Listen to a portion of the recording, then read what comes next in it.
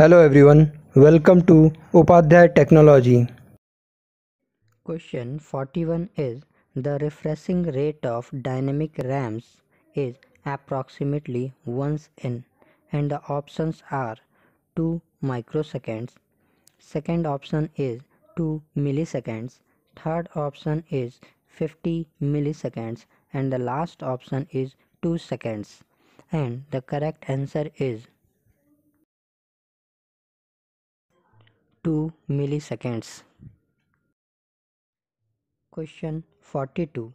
The data lines of Intel 8085 processor are multiplexed with and the options are higher order address lines second option is lower order address lines third option is status lines and the last option is none of these and the correct answer is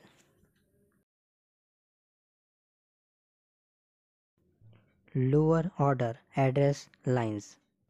Question 43. What device is used for entering XY coordinates?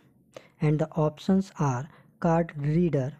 Second option is joystick. Third option is keyboard. And the last option is all of these. And the correct answer is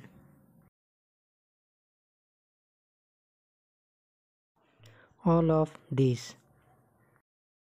Question 44. Which one of the following is required when more than one person uses a central computer at the same time?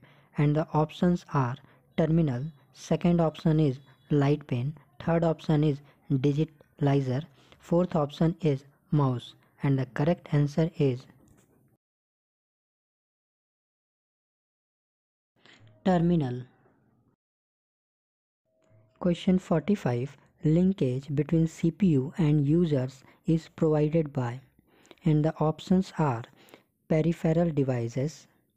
Second option is storage. Third option is control unit. And last option is software.